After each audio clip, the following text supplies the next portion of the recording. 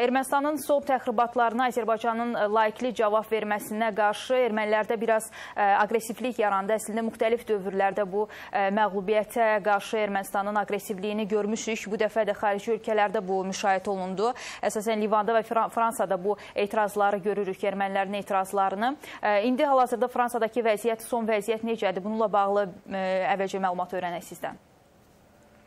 Düz deyirsiniz, dünən yəni, günorta səfirliyə hücum olunub, basqın olunub. Siz hamınız görmüşdü bu kadrları.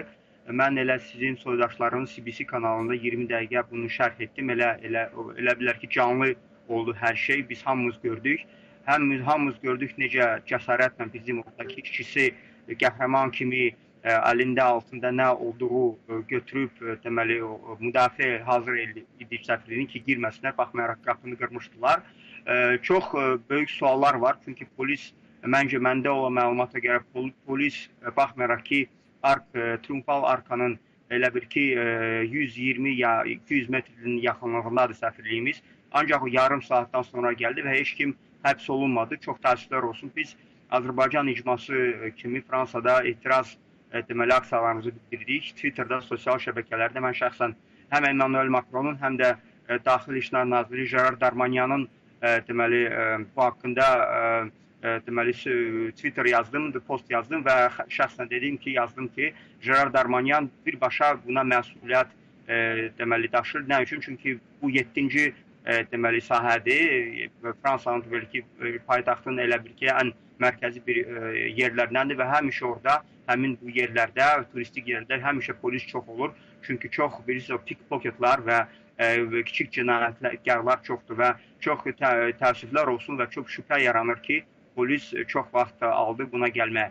O ki qaldı ermənilərin belə aksiyaları. Bilirsiniz mən Londonda ə, e, hücumdan sonra dedim ki, mən orada da görmüşdüm ermənilərin əlini və ə, e, mən dedim ki, ə, ehtiyat eləmək lazımdır ki, bu sistem xarakter daşıya bilər və o vaxt mən demişdim ki, əlbəttə ki, biz çox şey etməliyik ə, e, təhlükəlik sistem, sistemlərimiz, səfirliklərimizdə dəyişməliyik və s. və təəssüflər olsun ki, göstərir ki, bu sistem xarakter daşıyır və ə, e, bun, bununla bağlı ə, bizim orada işçilərimizə, soydaşlarımıza, assosiasiyalarımıza ə, təhlükə yarana bilər. İndi siz qanundan danışdınız, düz deyirsiniz. Cenevra Konvensiyasının 20 ə, 0 2-ci maddəsinə görə diplomatik həm də konsulluq iki dənə müqavilə var. Cenevra biri diplomatik müqavilə, biri konsulluq. Hər ikisi e, bax, baxaraq ki, səfirlikdə həm səfirlikdir, həm həmin də konsulluq idarəsidir. Hər iki e, müqavilə pozulub. Çünki həm hə, həmin maddəyə əsasən ə, e, səfirlik və konsulluq olan ölkəsinin öhdəsindədir həmin səfiri qorumaq ə, var gücü ilə. İndi ə, biz ə, bəzi ölkələr var ki, onu eləyəcək, bəzi ölkələr var ki, buna zəiflik göstərəcək. Bizim ə, buna başqa cavabımız ola bilər. Biz nəhəng ölkələr, mühüm ə, ölkələr, ə, Amerika Birləşmiş Ştatları, İsrail kimi onlar öz səfirliklərə xüsusi təyinatlı adamlar saxlayır və xəbərdarlıq olunur ki, səfirin içinə girəndə onların ölkəsinin daxili qanunları tətbiqdir. O deməkdir ki, hər hansı insan ki, şəxs səfirlə basqın edirsə, həmin səfirlik qapını keç keçərkən vurula bilər. İndi düzdür bu ekstremal halda, amma bu da, bu da ola bilər. Amma ondan başqa deməli ə, sızıcı qaz ya elektron teaser deyirlər və başqa üsullarla istifadə ola, oluna bilər. Mən istəyirəm ki, bizim soydaşlarımız polemikaya ə, getməsin. Biz Londonda olan hadisədə belə polemika yarandı ki, ay səfirliyin işçiləri belə-belə yox. O çox çətin məsələdir. Çünki